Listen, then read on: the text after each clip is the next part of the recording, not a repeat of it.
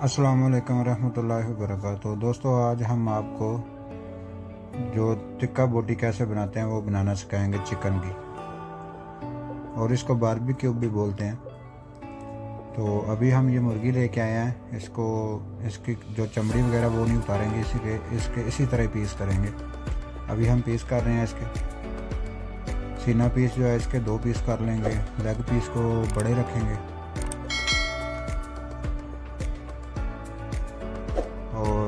इसके बाद फिर हम इसको सही अच्छी तरह धो लेंगे पीस करने के बाद।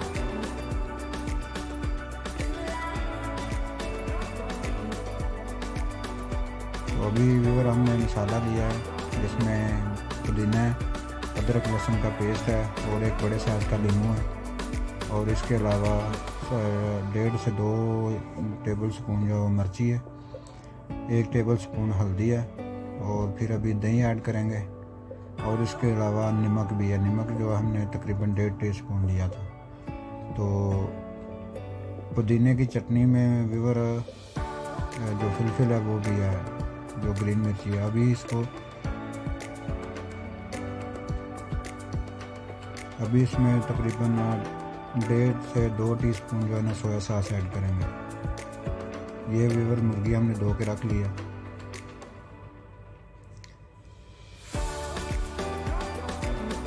हमने इसको डेढ़ से दो टी स्पून ऐड किया।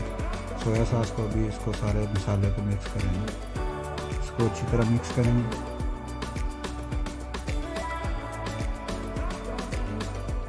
ये और हमने मिक्स कर लिया माशाल्लाह तो देखें, अभी हमने जो है ना पीस को कट लगाएँगे।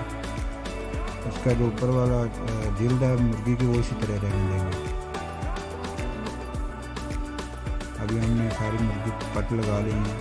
अच्छी तरह से बड़े बड़े कट लगाए हैं।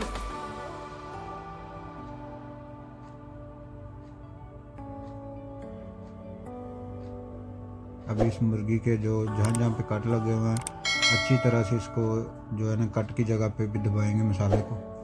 सारी मुर्गी को बिल्कुल कोई जगह से रह ना जाए जहाँ पे इसको ये मसाला वगैरह ना लगे।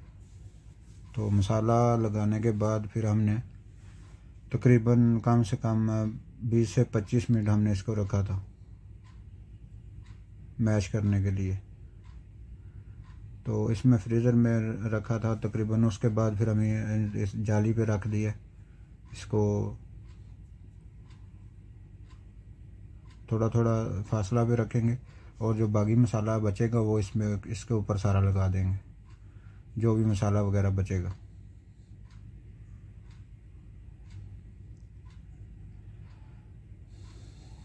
जी और हमने सारा मसाला लगा दिया। अभी जाली को बंद करेंगे।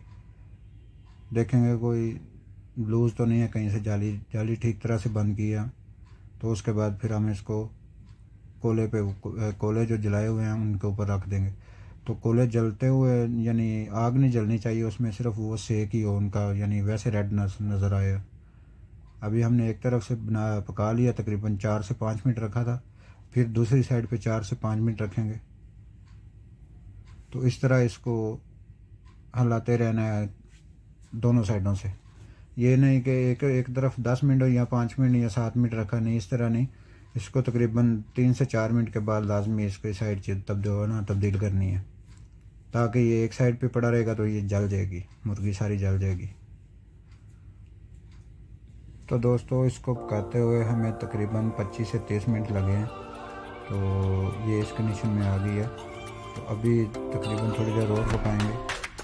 तो अभी दोस्तों, आपको ये हमारी ये टिक्का बोटी की चिकन की रेसिपी कैसी लगी है? अगर हमारी वीडियो पसंद आई है तो हमारे वीडियो को लाइक करें। शेयर करें कमेंट करें और हमारे चैनल को सब्सक्राइब करें। अस्सलाम वालेकुम आपका बहुत शुक्रिया।